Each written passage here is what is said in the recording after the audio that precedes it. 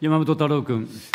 令和新選組山本太郎です。え本日はですね何かを激しく追及したりとかというような、えっと、質疑ではございません、えっと、何かと申しますと大臣のスタンスを知るための質疑とさせていただきたいんですね。なのでどうか大臣にはリラックスしたえー、状態で、えー、やり取りをさせていただければというふうに思います。よろしくお願いいたします。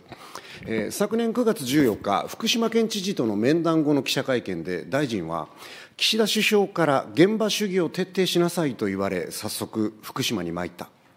現場主義を一生懸命に貫き、皆様の声を聞くと述べられました。大臣は先日の3月13日の、えー、所信聴取の際に、重要なことをおっしゃったので、引用をさせてください。私は大臣就任以降、福島県、宮城県、岩手県を頻繁に訪問し、被災地で活躍されている女性の方々をはじめ、多くの方とお話をすることで復興の現状を把握してまいりました。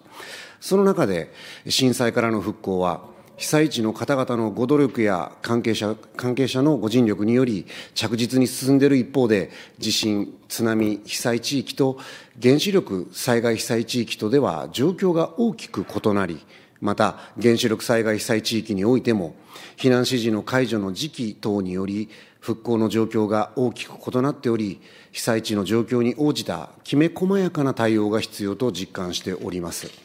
地震、津波被災地と原発事故被災地では、状況が大きく異なる、きめ細やかな対応が必要。このおっしゃってること、本当にまさにその通りだと思います。で、こうもおっしゃってます。まず被災者支援について、これまで心のケアやコミュニティ形成、見守り、生きがいづくりなどに取り組んできておりますが、被災者の方々の置かれた状況は様々であり、それぞれの状況に応じて、必要な支援が受けられるよう、引き続き取り組んでまいります。このことに関しましても、おっしゃる通りと。被災者の方々の置かれた状況は様々。一律に時期や地域を区切って、上からの方針を押し付けるようなことがあってはいけないと、そのように思います。そして次のようにも述べられております。引き続き現場主義を徹底し、被災者に寄り添いながら、復興の司令塔である復興大臣として、福島の復興なくして東北の復興なし、東北の復興なくして日本の再生なしとの強い決意のもと、東日本大震災からの復興に全力で取り組んでまいります。非常に頼もしい大臣所信であったと私も感じました。原発事故の直接的な被害を受けた浜通りをはじめとする地域の復興には、特別な困難が伴い、長期的な視野を持った復興が必要となります。そこでですね、復興の司令塔として現場主義を貫く大臣としては、原発事故からの被災地の復興にとって、何が一番重要な課題と考えていらっしゃいますか、お聞かせください。土屋復興大臣。えー、あの福島ですよね。福島の原発の問題に関しては、まあ、何か一つと言われると難しい問題があると思います。ただやっぱり廃炉が一番重い問題でもあるかなとは思っておりますが、それと同時に、やはりあの帰還してもらう人、一人でも多くするということも大切なことだと思います。えー、そういう意味ではあの、私自身、いろいろなところで今感じていることを言っている中で、やっぱり福島の復興は、これからがあの本当に大事な時期に入った、スタートにを切ったというような思いでおります山本君。ありがとうございます。えー、大臣は就任以降、これまでの福島県の訪問で、多くの被災者の方々のですね、声を直接聞いてきたかと思います。福島県の被災地の方々、特に浜通りの原発事故被災地の住民の方々は、どのような復興の在り方を望んでいるというふうに考えられますか？土屋大臣。浜通りは一番まあ大変なところでございまして、やはりあの、うん、非常にあのにぎわいとかそういうものをもう一度取り戻したいっていう思いがあの強いのかなと思っております。それからあの漁業の問題も重いのかなということを感じておりまして、えまだまだですね、なりわい再生に向けては、あのいろんな支援が必要なのかなというのを痛切に感じておりますでそうは言いながらですねあの移住してくる方もぼちぼち出てきておりましてそういう人たちとまさに共に新しいその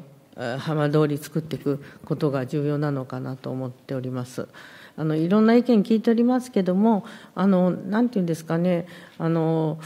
えー、移住していって疎外感があるっていうようなあのこのこの地域ではなくてですねあの違うところ移住すると意外に田舎で疎外感があるということを聞くんですけど反対にこういうその三重苦の中でですねもう新しい町みんなで作ろうとなると移住者も現在住んでる方も一緒に力を合わせようというようなあのことをおっしゃってるっていうのが非常に印象に残っております。山本君。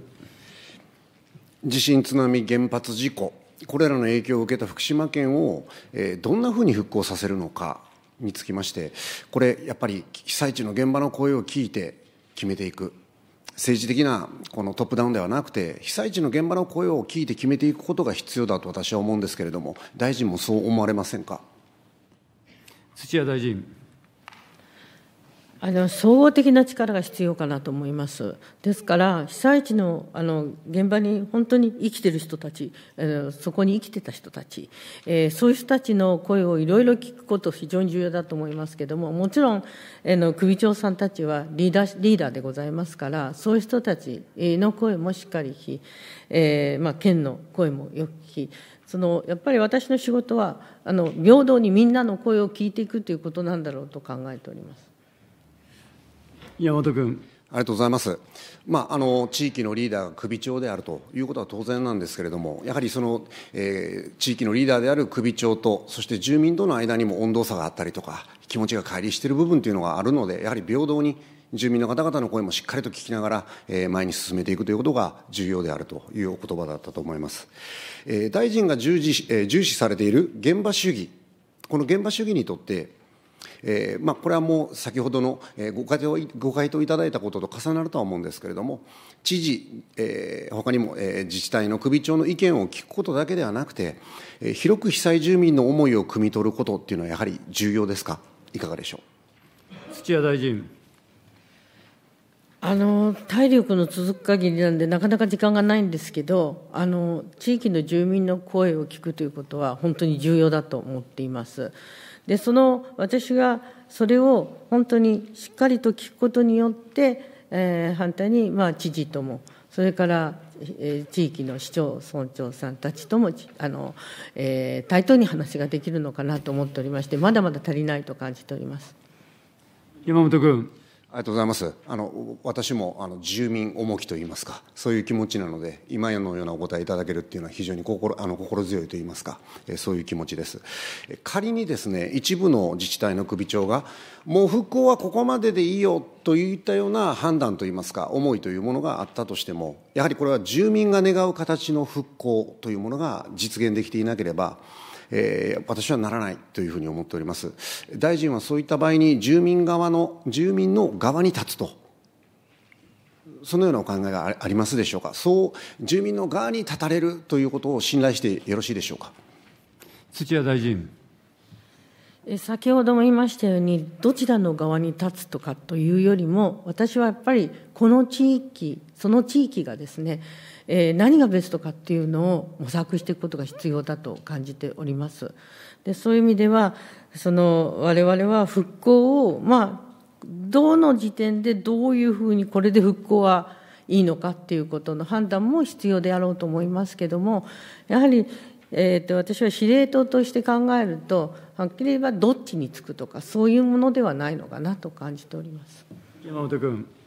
ありがとうございます、まあ、どうしても政治というのは例えばですけれども国があって地方自治体があって住民がいてってことを考えたときに、えー、となんだろうな、えー、と早く結果が出る方向っていうのをどうしても目指しがちだというふうに思うんですね。そんな中で、えー、地元のリーダーという部分がある意味で判断をそちらの方に舵切ってしまっていて住民が置き去りにされてしまっていると。そのような状況がある場合にはぜひ大臣には、えー、住民の側に立ってやはりそれは話し合いをももう少しちゃんと深めていった方がいいというようなことをぜひ、えー、指導といいますか、助言をいただきたいんですけれども、そのようなことが期待できると、そのような仕事をやっていただけるというふうに信頼してよろしいでしょうか？土屋大臣。えー、そのように努力していきたいなと思っています。それともう一言、あの、